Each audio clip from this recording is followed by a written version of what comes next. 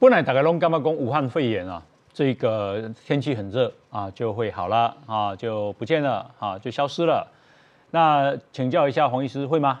呃，这是大家一厢情愿的思考方式了哈，因为认为，哎，因为。之前有个有个实验说，哦，那个五十六度三十分钟，然后这个病毒就消失了哈。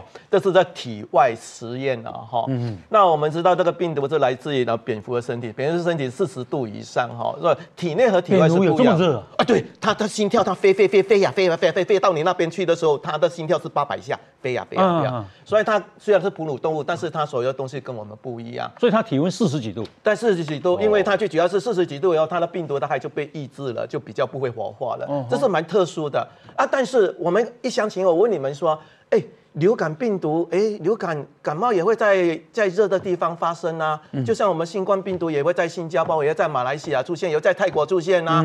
所以似乎呃，我们讲的那个。那个环境的热度似乎是没有什么的一个根据？只是我们期待如此啦。为了保护马来西亚，其实我们希望马来西亚到五十六度。真的啊？那这样子的话，大概大概我就没办法回去了，因为因为这样子还没有下，还没有飞机还没下去，飞机还没下去，大概已经在燃烧了，那个没办法下去。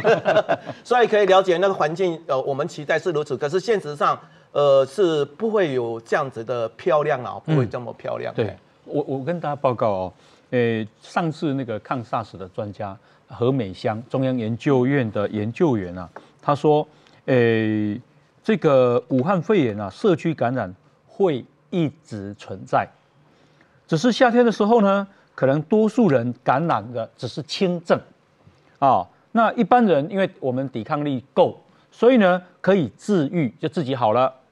可是到了冬天啊，这些轻症患者。会开始不慎传给家中的老人，或者是有慢性病、抵抗力差的病患，这时候呢，就会再度出现疫情，而且会到处发生，根本无从追查感染源哦。所以呢，到时候的啊疫情的爆发可能会更可怕哦。所以显然显然是他他是这样讲哎。没有，他是他是一个假设，以目前的状况如此，如果是没有任何的东西介入，一直到那那时候发生，没有没有什么对对对对，那但是我们知道，病毒才两三个月，也经过我们人类的 intervention 介入啊，嗯，那。